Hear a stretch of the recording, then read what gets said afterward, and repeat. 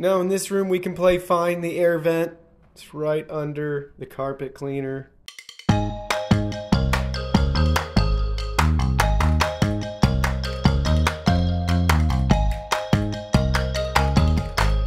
Today in this video, we're to be checking out the FLIR One Gen 3 Android USB Type-C thermal camera for your smartphone.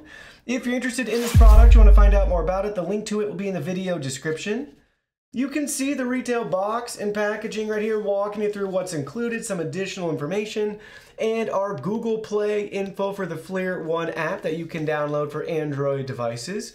This features a camera pixel dimension of 1440 by 1080 and a camera temperature range of minus 20 degrees Celsius to 120 degrees Celsius. So that's minus 4 degrees Fahrenheit to 248 degrees Fahrenheit.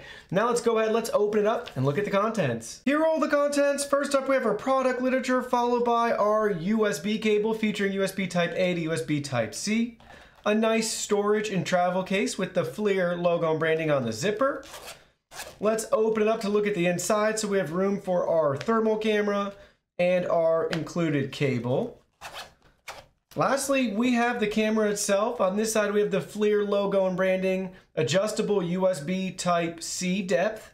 We can move that in or out depending on our device.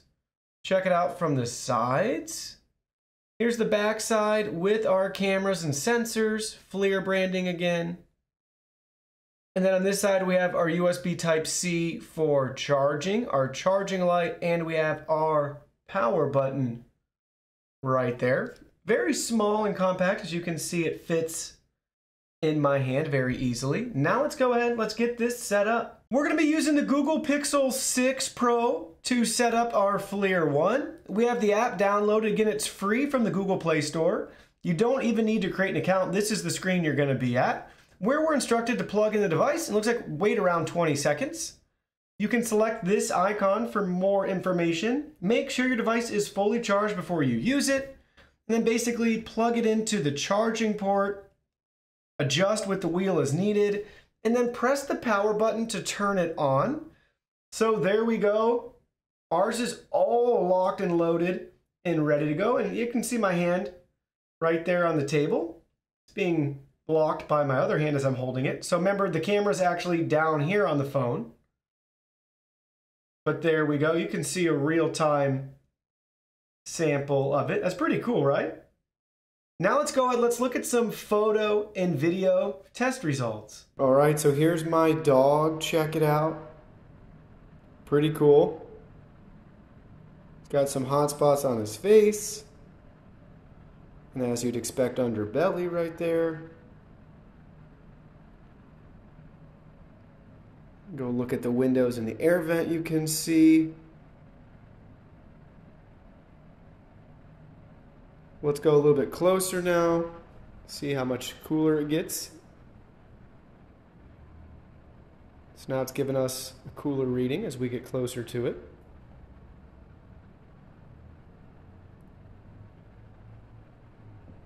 And we can look at our windows too. Pretty cool. Now we're outside. I thought this was pretty cool. You can see the cooler spots. That's the shade. And then the brick radiating a lot of heat. And you can see the windows. It's really cool. Now in this room we can play Find the Air Vent. It's right under the carpet cleaner. There's the window. And then we have our cooler air coming out of that vent, hitting the wall.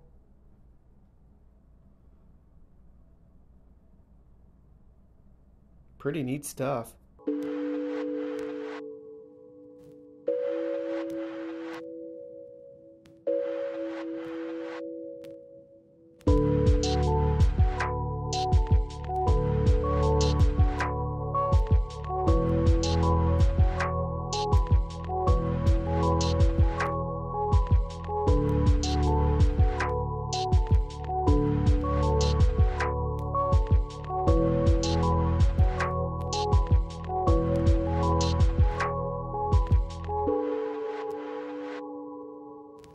So pretty impressive photos and videos if you ask me. It's really neat and obviously a helpful and useful tool for certain applications and businesses.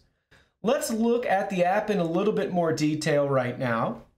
At the bottom we have our image icon where we can browse our photos and videos.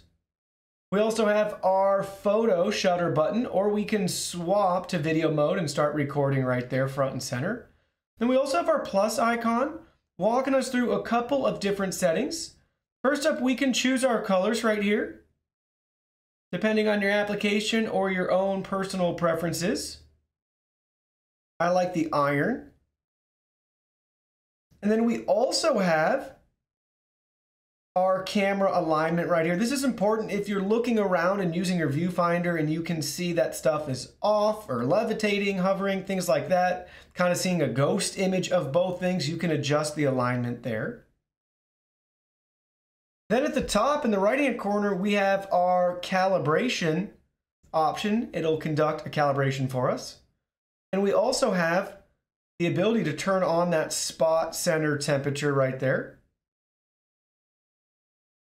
Top left-hand corner, we have our hamburger menu with additional options. So currently our FLIR one's connected and it's charging. I want you guys to see that you can use this with the USB cable if you wanted basically continuous power. We can log into a cloud account if we want.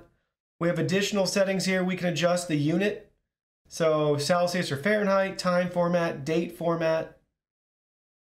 Couple additional settings here. Basically, you can adjust the measurement of uh, how effectively or efficiently an object radiates heat. So basically you just choose this depending on your environment. So we're leaving it on recommended. We can choose to save our location as well. Help section right there, how to use, depending on your make and model. So we have a couple different things we can look at right there for us. FAQ, can ask a question. Additional info here about FLIR and thermal in general. Very helpful stuff right at your fingertips. Then we have this apps section as well. So a couple additional apps if you want to investigate that you can. And some additional FLIR apps down at the bottom if you want the Thermal Studio for advanced post-processing or FLIR tools to create simple reports and make image adjustments. You have that all right here within the mobile app. So it's very simple. You can see your temperature at the center. You can take photos, take videos, charge it up and use it with its battery, or you can run it with direct power to it, maybe from like an external um, power bank, things like that. You could do that as well.